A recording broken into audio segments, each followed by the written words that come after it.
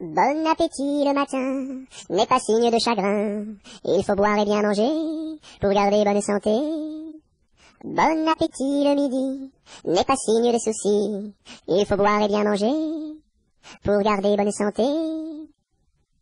Bon appétit le soir n'est pas signe de désespoir. Il faut boire et bien manger pour garder bonne santé.